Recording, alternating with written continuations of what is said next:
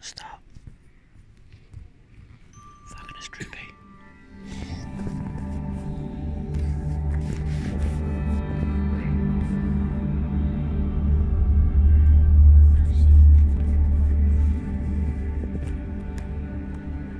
In Iceland, almost all the natural forces carry a story. The trolls in the mountains, monsters in the ocean, elves and hidden people in the the gods of thunder, love, and war. My name is Aurora. I am the goddess of dawn and the forgotten goddess of the northern lights.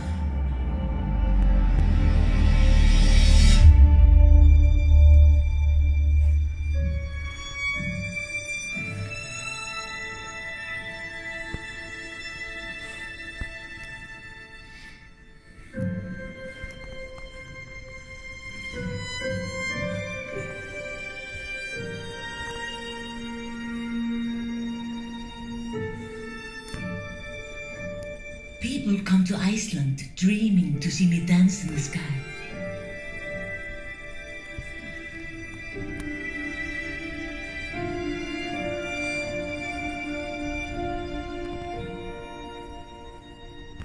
I've been dancing over Iceland long before people settled in Reykjavik, more than a thousand years ago.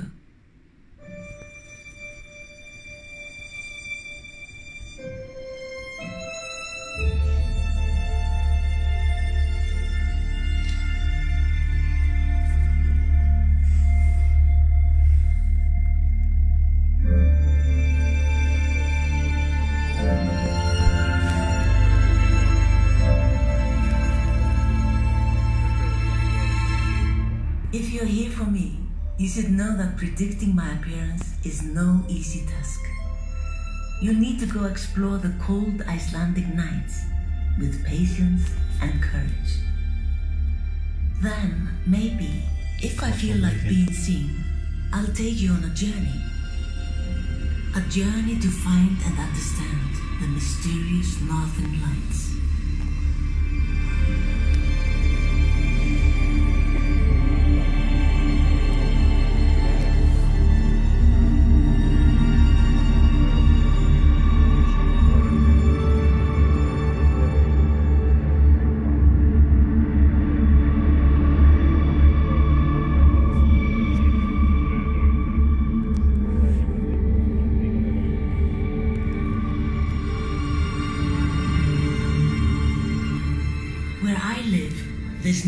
To worry about clouds and city lights.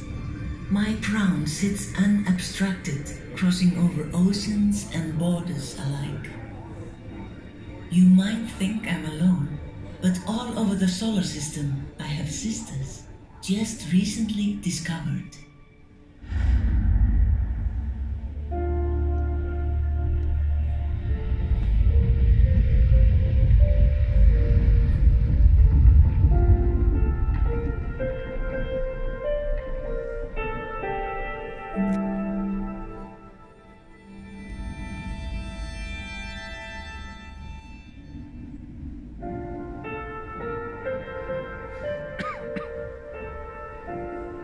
Widely known for its majestic rings, we don't often hear of Saturn's auroras.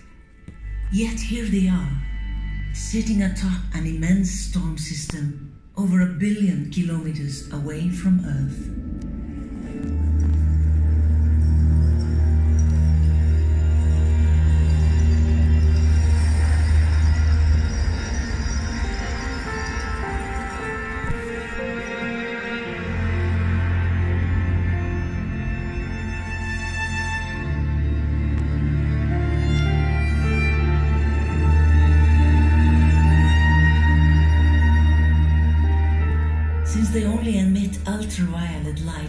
You can't see them with your eyes.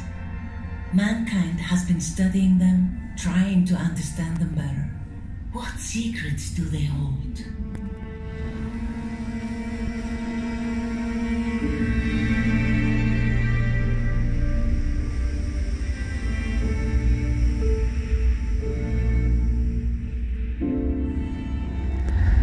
My sister on Jupiter is even stronger.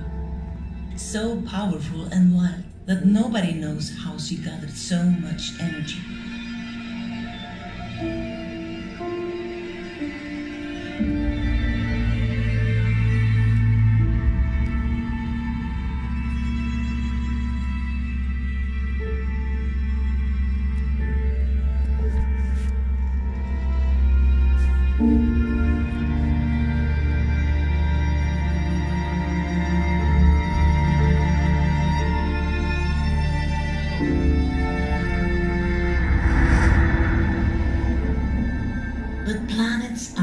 Only homes.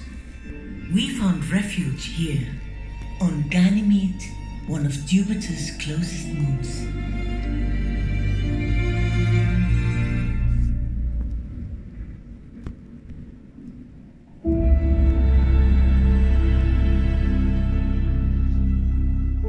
By now, you're probably wondering what do the long nights of Iceland have in common with some distant moons and a few gas giants?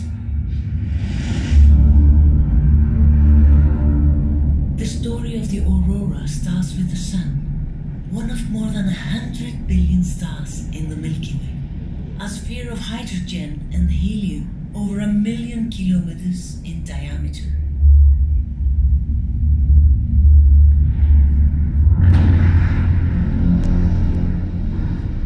Gravitational pressure at its center is so great that nuclear fusion continuously occurs. This fusion generates enormous energy that makes its way to the surface, creating spectacular eruptions known as flares and coronal mass ejections.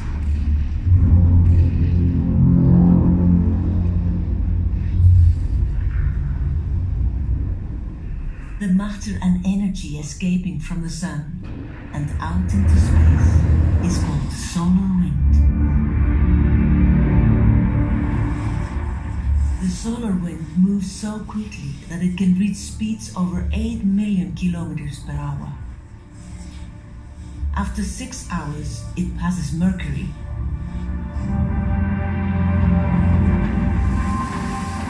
After 12 hours, the planet Venus.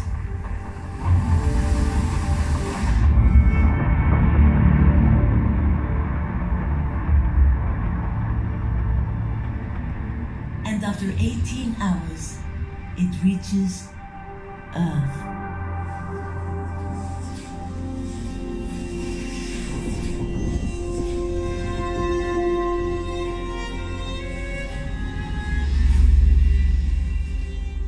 In Earth's outer core, the flow of liquid iron generates electric currents that in turn produce the magnetic field, an invisible shield that protects us and all life as you know it.